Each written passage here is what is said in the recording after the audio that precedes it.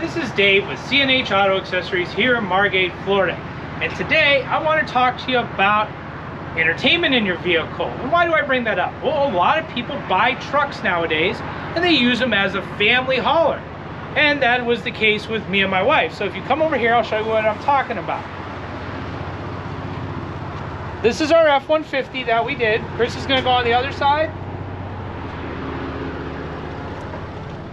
My wife said no minivans. One of the downsides to the truck, there's no rear entertainment options for kids. I have two young kids.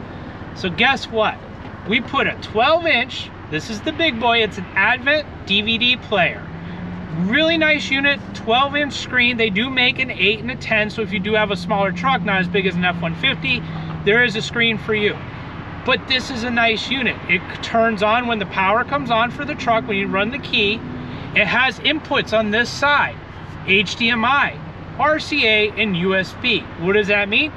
Well, in the F-150s and a lot of new trucks, they have a 110 volt standard household outlet. If you have kids that are a little bit older, you could hook up an Xbox and they can game on this thing.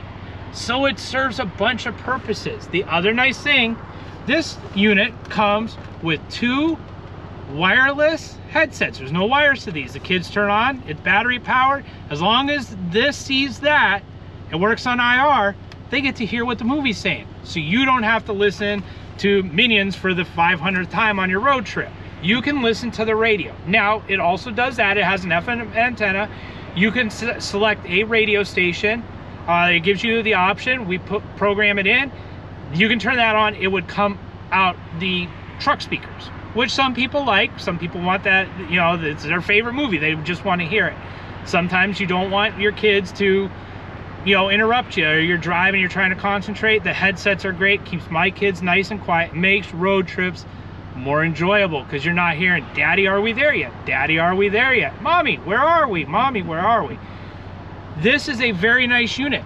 This comes with a trim ring. It comes in multiple colors. This is the black if you have a tan or the cream colored interior. We just match it. The other nice thing, this this moves your uh, overhead dome lights.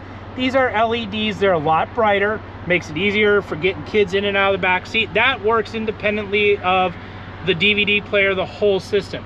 This is also bolted into the structure of the truck. This is not gonna fall down and break, you know, hit the ground, break, hit somebody in the head. This is mounted to the truck. As you can see, this truck has a sunroof, so we can make it work. Now, if you have the big panoramic sunroof, I can't do this for you. You're gonna have to get something that goes in the headrest.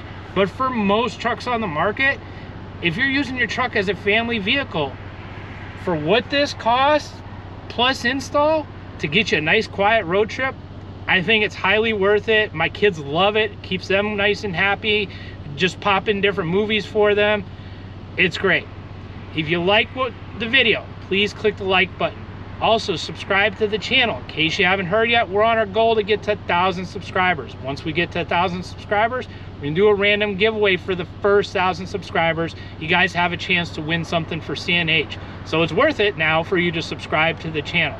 If you have any questions about this kind of stuff, feel free to call the store, talk to me or Chris. We can get you set up with something like this if you're like, oh, that's what I've been looking for for my truck so I can go on a nice road trip hope you guys have a good day. Hope this was informative for you. Once again, call the store if you have any questions. Thanks.